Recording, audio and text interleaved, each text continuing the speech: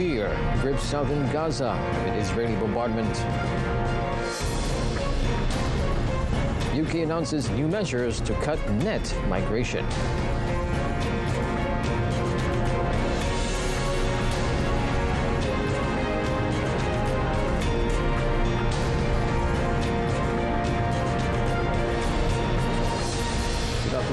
I'm Otto Othman for World Today. Israel's army on Monday sent dozens of tanks into southern Gaza as part of expanded action against Hamas, despite global concern over mounting civilian deaths as communications was cut across the besieged territory.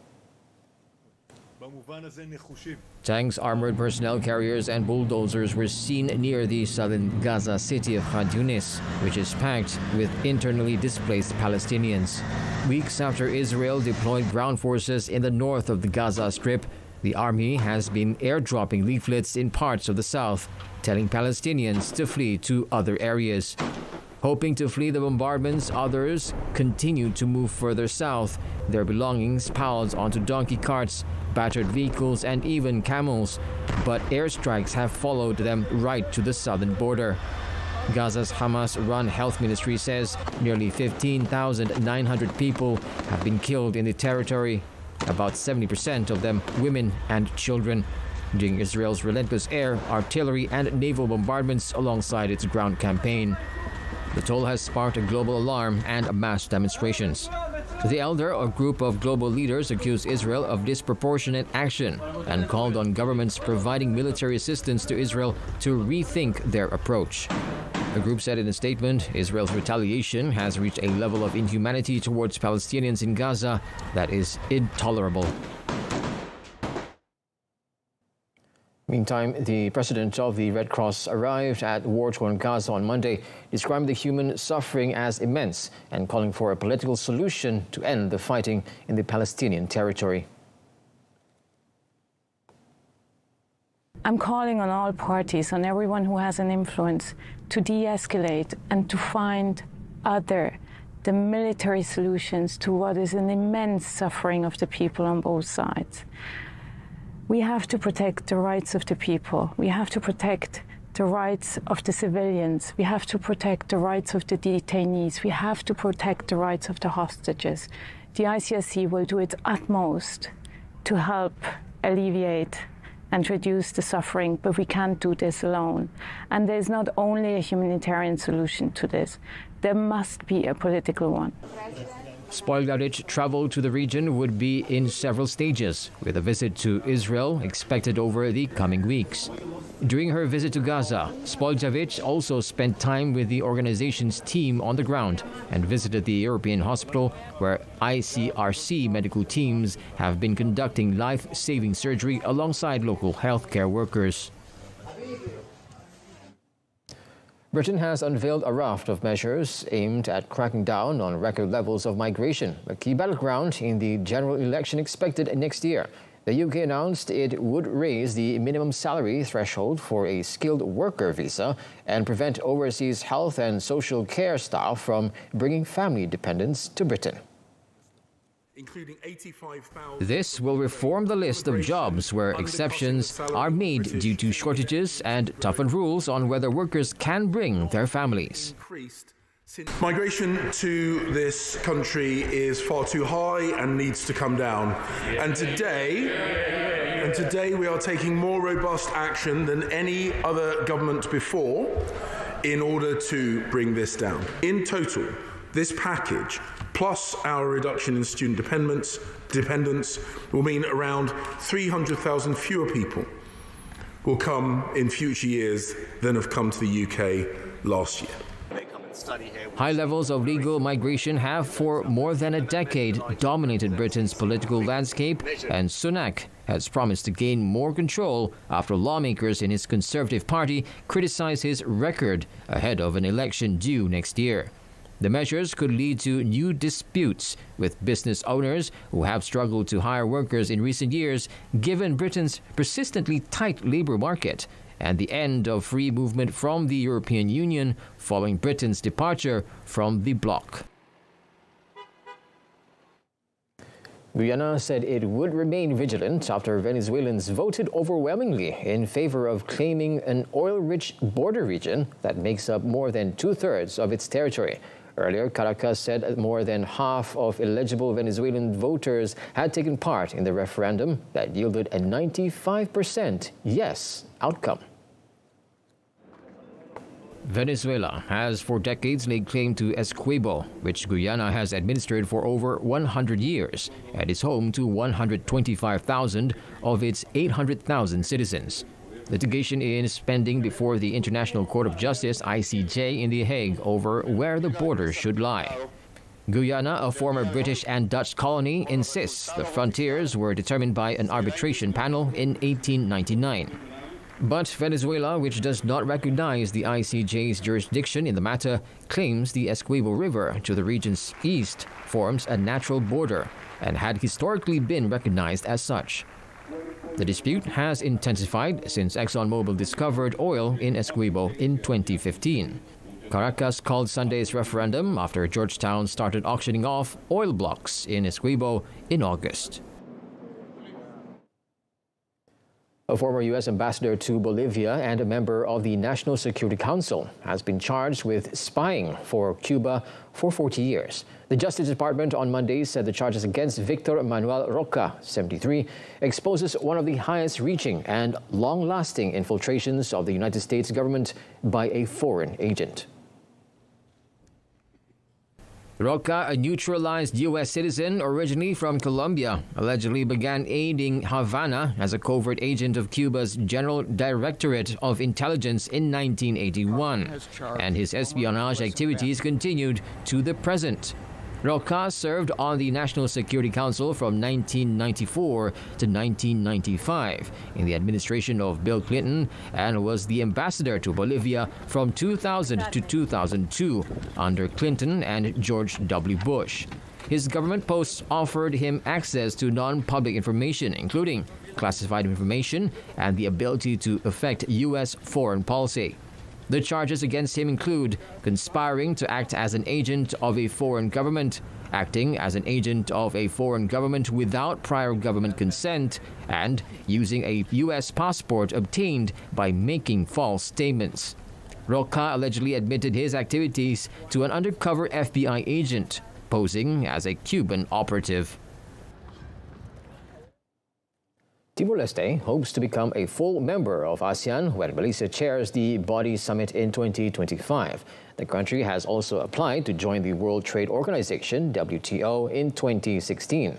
The conclusion of WTO accession negotiations is expected in February 2024. So uh, we are very happy Uh, as everyone knows, Malaysia is going to be a chair of ASEAN 2025. So hopefully, in that time, Timor-Leste will become a full member of an ASEAN, of ASEAN, and we will celebrate this membership, a full membership in Malaysia, Kuala Lumpur.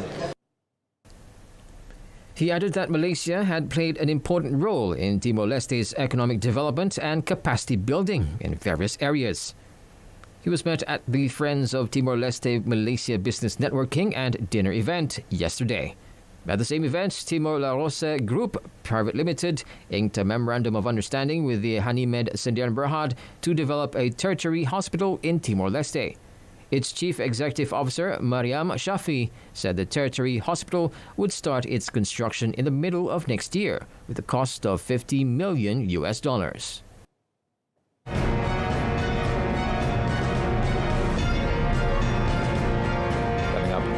Army drone strike error kills civilians. Stay tuned.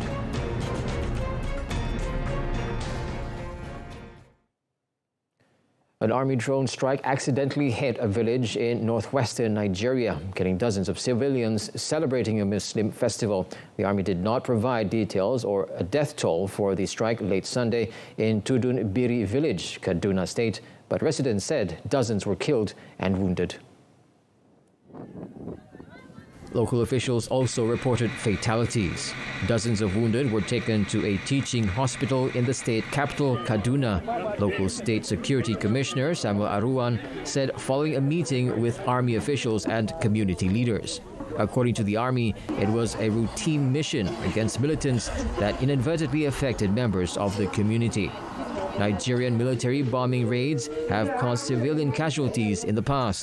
At least 20 fishermen were killed and several injured in a September 2021 attack in Kwatar Daban Masara on Lake Chad in the northeast when the military mistook them for militants. Three survivors were found yesterday in Indonesia after the Marapi volcano erupted in West Sumatra as search operations, which were halted temporarily over safety concerns, resumed. Now, according to spokesperson for the search and rescue team, Jody Hariawan, the rescue team recovered 11 dead bodies out of 75 climbers who were in the area at the time of the Sunday's eruption. There were 49 climbers evacuated from the area early on Monday, and many were being treated for burns, and there were still 12 climbers missing. The rescue team said it took around four to six hours to evacuate one dead body from the volcano, adding that it's very difficult as the rescue team said they feared further eruptions when they stopped their search. Authorities raised the alert to the second highest level and prohibited residents from going within three kilometers of the crater. Marapi is one of the most active volcanoes on Sumatra Island, and its most deadly eruption was in April 1979 when 60 people were killed. Parts of Cumbria in the north of England were covered in snow and ice on the following severe snowfall that led to widespread power outages with approximately 200 vehicles stranded during the weekend. The challenging weather conditions, which resulted in Ice Rink Monday as the snow refroze overnight, prompted the closure of about a dozen schools in northeast of Scotland. A yellow warning for ice was put in place for Sunday through Monday. It was reported that Cumbria experienced unexpected heavy snowfall exceeding 30 centimeters in some areas, following the convergence of opposing winds over the Irish Sea. The Meteorology Office said they expected rain and hail snow with icy conditions in places for Cumbria on Tuesday. Police and emergency services said the snow and ice caused major incidents. Mountain rescue teams were called in to help with numerous incidents, addressing issues ranging from potential cardiac arrests to spinal injuries caused by sledging accidents. Some visitors were stranded in Ambleside, Cumbria, after 20 centimeters of snow landed in just a few hours. UK's only giant pandas left Edinburgh for China after spending 12 cubless years in the Scottish capital. It was hoped that female Tian Tian and male Yang Guang would produce a cub during their stay in Edinburgh Zoo, but the bears never succeeded in conceiving. The pandas were transported to the airport in metal crates and loaded into a cargo plane with a pallet of bamboo ahead of their flight back to China. They will spend time in quarantine on arrival in China before being rehomed at a sanctuary in Chengdu, the capital of southwestern China's Sichuan province. The pandas arrived at Edinburgh Zoo in December 2011 as part of a 10 year agreement between the RZSS and the China Wildlife Conservation Association, which was later extended by two years. During their stay in Edinburgh, the popular pair even had a special tartan created in their honor in black, white, and gray representing their fur, and red to symbolize China. The death toll from landslides and flooding, triggered by heavy rainfall in northern Tanzania, climbed to 68 as rescue workers searched for trapped survivors. Images broadcast on television show debris from houses, including furniture, strewn across streets, with key roads, power lines, and communication networks disrupted. At least 100 houses were swallowed by mud, and a village with 28 families flattened. Tanzania's Prime Minister Kassim Majaliwa on Monday paid tribute to the victims during a ceremony in Katesh to hand over their remains to their families. He believed that more bodies will be recovered as operation continues, adding that 116 people were injured in the disaster. An American woman died after a shark attacked her while paddle boarding in the Bahamas. The woman, who was in her 40s and visiting from Boston, was with a male relative when the attack occurred near a resort in western New Providence. Police said CPR was administered to the victim. However, she suffered serious injuries to the right side of her body, including the right hip region and also her right upper limb. Thousands of protesters gathered in New Zealand's city squares, motorway bridges, and in front of the country's parliament today to protest the new government's policies that they believe are racist. The protest action was called for by political party Te Pāti Maori and coincides with the opening of New Zealand's 54th parliament later in the day. A new centre-right government outlines plans to win back the use of Maori language, review affirmative action policies, and assess how the country's founding treaty document is interpreted in legislation. Te Pāti Maori co-leader Rawiri Waititi led hundreds of protesters in a march through Wellington City to the country's distinctive Beehive Parliament building, calling for demonstrators to make their voices heard. A struggling dairy farm in Yorkshire in the north of England has been overwhelmed with bookings after offering a cow cuddling experience.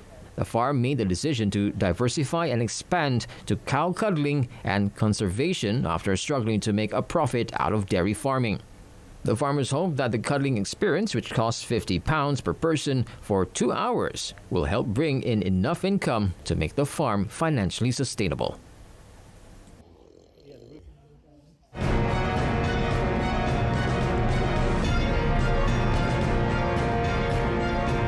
Premier League agrees record 6.7 billion pound TV deal. That and more in our sports segment.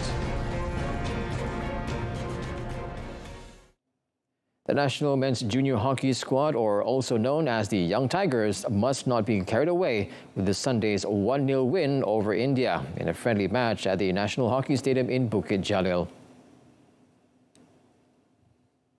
Sports analyst Dr. Dr. Pekan Ramli said the Young Tigers must instill the spirit of winning when they open their campaign in the 2023 Junior World Cup or JWC against Chile at the National Hockey Stadium in Bukit Jalil today. Speaking to Bernama, Dr. Pekan feels that if coach Muhammad Amin Rahim's charges can defeat Chile in their opening match, it will certainly serve as a draw card for hockey lovers in the country to fill the stands for their second match against Argentina. The presence and support of a strong crowd can serve as a tonic for the players who will be up against Argentina, currently the best team in the world and the defending champion. He also urged football fans who will be coming to watch the Malaysia Cup final at the National Stadium in Bukit Jalil on Friday to come early and watch the Malaysia versus Argentina match played earlier to provide moral support, since entrance is free. Malaysia's best ever finish in the tournament was a fourth place finish in three editions, namely the inaugural tournament in 1979 held in France, 1982 in Kuala Lumpur, and 2013 in India, while the Young Tigers failed to get past the quarter-final stage in the previous edition. Former world number one Rafael Nadal said he expects nothing from himself before his return to the courts next month. Nadal, 37, has been out with a hip injury since last January, but is set to feature at Brisbane in the near year. The Spaniard will use the tournament as a warm up to the Australian Open in Melbourne, having slumped in 663rd in the world before starting his final year before his expected retirement. Tengo y he tenido miedo de anunciar las cosas eh, porque al final es un año sin competir y es una operación de cadera. Pero lo que más me preocupa no es la cadera, ¿no? sino es todo lo demás. Creo que estoy preparado y, y confío y espero que, las cosas vayan bien y que me dé la oportunidad de, de poder disfrutar en la pista. Al final es mucho tiempo, con lo cual espero, eh, lo primero, pues eh, sentir otra vez esos nervios, eh, esa ilusión, esos miedos, esas dudas y espero de mí, espero de mí no esperar nada. Esta es la verdad. Since being sidelined, Nadal has been overtaken in the number of Grand Slam tournaments won by Serbian world number one Novak Djokovic, who now has 24 major titles. Nadal will try to return to the highest level in Australia with the aim of competing at the French Open, which he has won a record 14 times.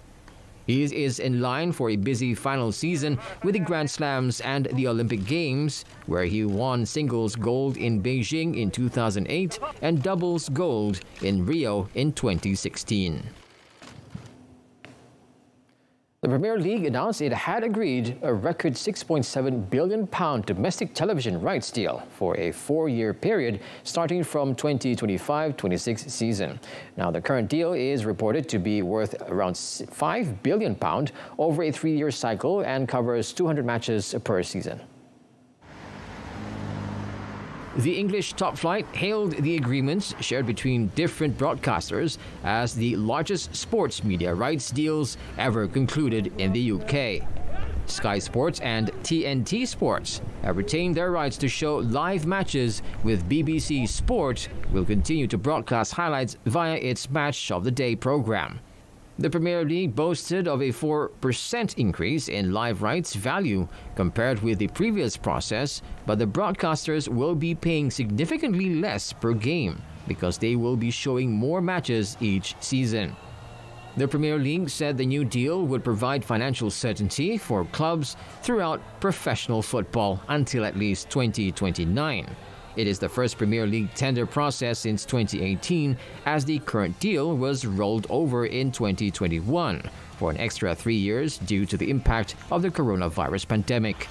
International rights for the English top flight overtook the value of domestic rights for the first time last year and are estimated to bring in 5.3 billion pounds between 2022 and 2025.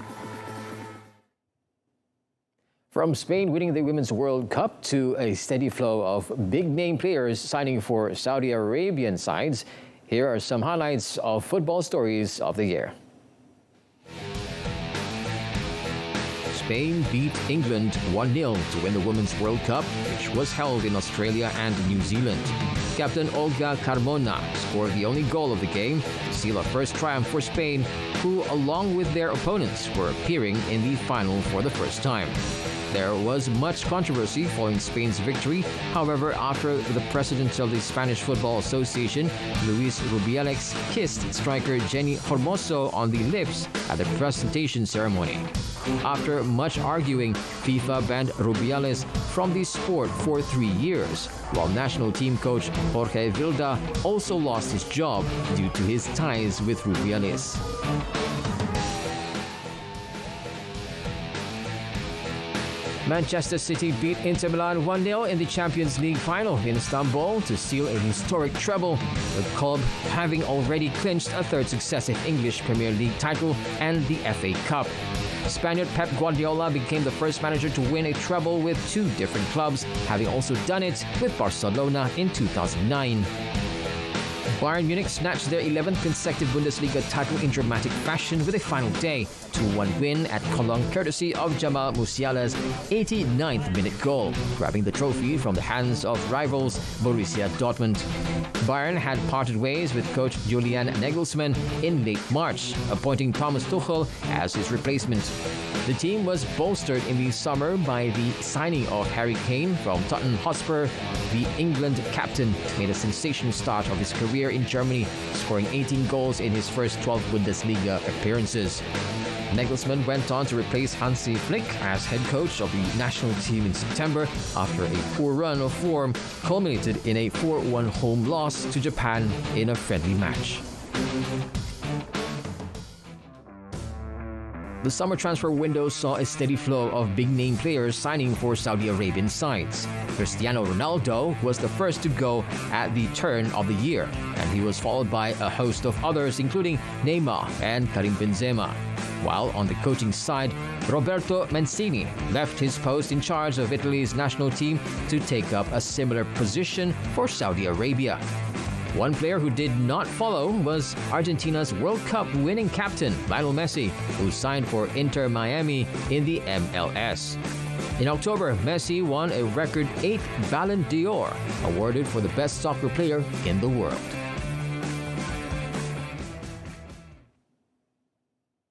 Now, there is no plan B for the opening ceremony of the Paris 2024 Olympic Summer Games, the French sports minister said, after a man armed with a knife and hammer killed a German tourist and left two people wounded near the Eiffel Tower on Saturday.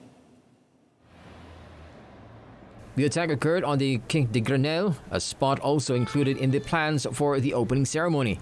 Asked if the government was mulling a change to its plan to hold the ceremony on the River Seine, the several hundred thousand spectators expected along its banks amid the security threats. The minister said it was not being worked on the, by the government.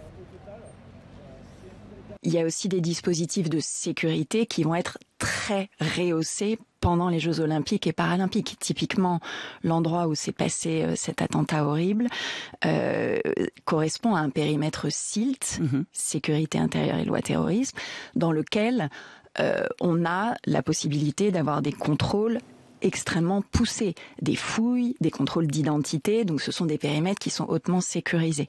Donc on a sur la cérémonie d'ouverture incontestablement un défi sécuritaire tout particulier, extrêmement élevé. On le sait depuis le premier jour, c'est incorporé dans notre préparation.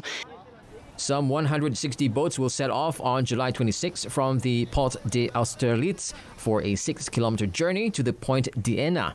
In an event, Tony Estanguet, the head of the organizing committee, described as unique and spectacular.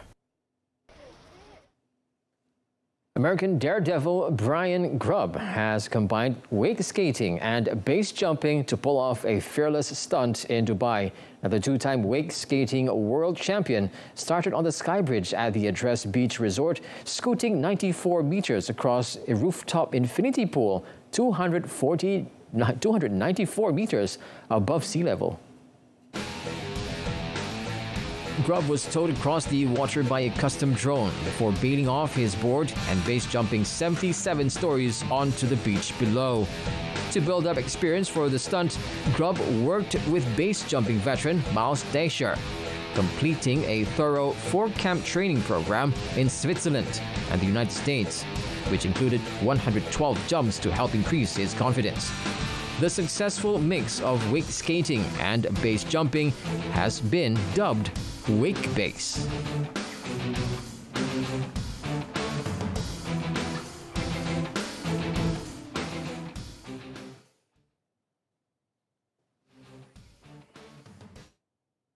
And with that, we reach the end of today's bulletin. In our top story, today, fear grips southern Gaza amid Israeli bombardment. Do join us again tonight at 8.30 p.m. on TV1 and Saluran Berita RTM for more news. Till then, I'm Otto Othman for the Rivers to the Sea. Palestine will be free. Goodbye.